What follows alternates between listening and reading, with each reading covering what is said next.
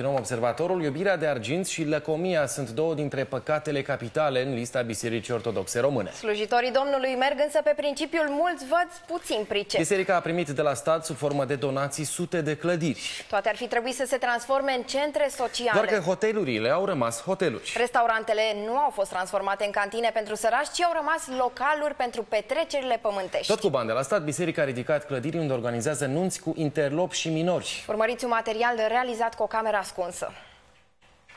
Șeful supraveghează toate nunțile.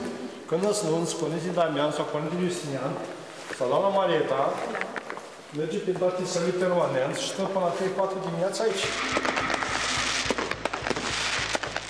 În 2011, preoții au supravegheat și nunta unui interlop din Iași, că și interlopul e om. Și ce om? Aleodor, fiul unui șef de clan, s-a căsătorit cu Simeria. Deși în România legea interzice căsătoriile dintre minori la nunta desfășurată în restaurantul bisericii, Mireasa avea 15 ani. Petrecerea a avut loc chiar sub ochii mai marilor mitropoliei Moldovei și Bucovinei. Peste 600 de invitați au umplut atunci centrul de evenimente Providența, printre ei Nuțu Cămătaru, membri ai clanului Corduneanu, dar și maneliști celebri. Naș a fost Adrian Minune.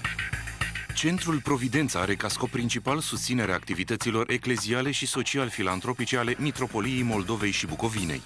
Am trecut în, din iulie, august, au fost tot 11 săptămâni. 4 sâmbătă, 4 duminică. Am avut uh, meniuri care au plecat și de la 1.400.000 până la cel mai scump, să zicem, 1.800.000.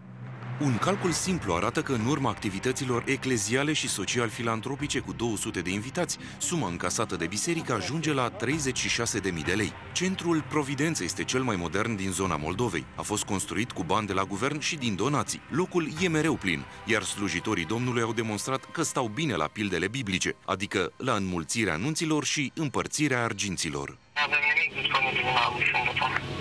Mitropolia se ocupă de tot, de la meniu la decoratul meselor. Au o experiență vastă în domeniu, așa că știu ce-și doresc clienții. Paznicul e ghidul nostru, ne explică exact cum vor sta invitații în ziua evenimentului, dar și cum trebuie asortate fundele de pe scaune cu florile de pe mese. Șampoana se primește afară.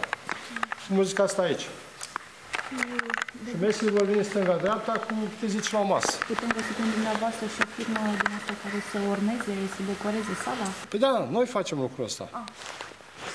Deci noi facem în funcție cum vreți dumneavoastră. Am înțeles. De ce? Deci șarfile alea sunt vreo 10 culori. Și cum e șarfa pe la scaun, așa trebuie să fie și floarea. Casa de astăzi Sfântul Nicolae, bună ziua! Casa de oaspeți Sfântul Nicolae e fostul Hotel Victoria. A intrat în posesia bisericii printr-o hotărâre de guvern. Ar fi trebuit să fie centrul social, că sunt destui bătrâni și copii năpăstuiți de soartă care n-au unde să pună capul jos. Și totuși, încurcate scăile Domnului. 150 de lei este camera dublă, cu mic dejun inclus, și 130 de lei regimul de single, iar în weekend avem un discount de 20 de lei. Recepționerul ne spune că putem caza aici o parte din invitații de la nuntă. Aici ce capacitate ați avea? Depinde când anume vă interesează.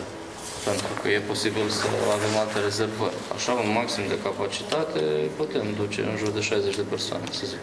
Vom avea chiar și o reducere, deoarece evenimentul îl organizăm tot în clădirea deținută de Mitropolia Moldovei. Casa de oaspeți Sfântul Nicolae are destinație de hotel, când ea ar fi trebuit să fie un centru social, conform hotărârii de guvern. Dumneavoastră nu aveți niciun punct de vedere de exprimat. Eu n-am voie, eu nu pot să fac uh, declarații de presă. E reacția pe care a avut-o preotul care cu doar câteva minute înainte ne explica cum stau lucrurile. Reprezentanții Patriarhiei Române ne-au declarat că nu se pot amesteca în problemele Mitropoliei Moldovei și Bucovinei.